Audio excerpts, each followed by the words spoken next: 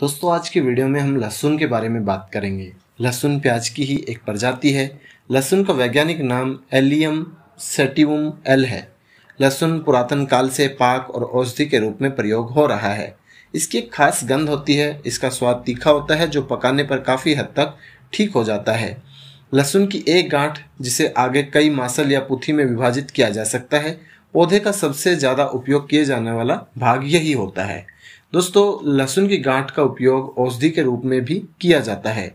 लहसुन की पत्तियाँ, तना और फूल का भी प्रयोग होता है, जब आमतौर पर वह नरम होता है।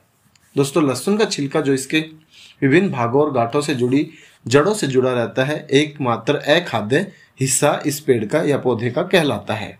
दोस्तों, इसका इस्तेमाल गले तथा पेट संबंधी बीमारियों से होता है। दोस्तों, सल्फ़र के यौगिकों के कारण लहसुन का स्वाद तीखा और गंधयुक्त होता है।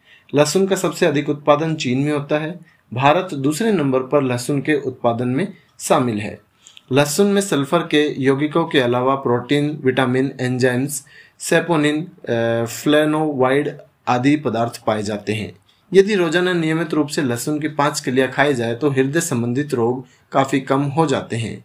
इसके अलावा यदि गर्भवती महिलाओं को लहसुन का इस्तेमाल करने दिया जाए तो उनको बहुत फ़ायदा इससे पहुँचता है। दोस्तों, लहसुन मूल रूप से मध्य एशिया से आया है। अब पूरी दुनिया में ये उगाया जाता है। घरेलू जरूरतों को पूरा करने के अलावा भारत सत्रह मेट्रिक टन लहसुन का निर्यात भी हर साल करता है।